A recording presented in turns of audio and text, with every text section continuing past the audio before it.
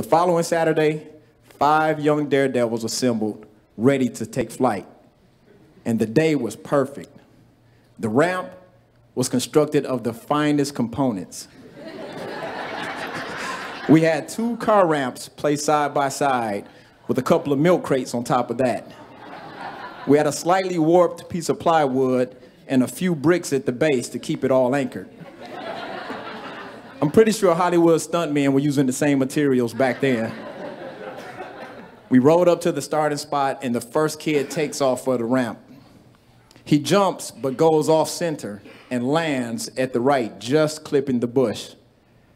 When the second kid takes off, he decides to abort his mission before even reaching the ramp. The third contestant goes and actually clears the bush. But when he lands, both of his feet slip off the pedals. He nut crunches on that middle bar so hard, lets out a blood curdling scream, and instantly becomes a spectator for the rest of the event. We laughed at him too. The fourth jumper goes, clears the bush easily, and lands perfectly on the other side.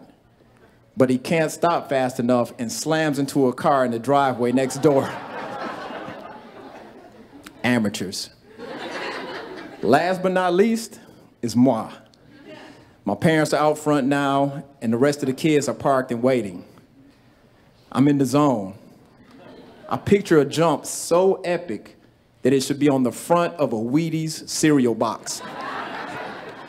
I decided to build anticipation by going through a series of poses.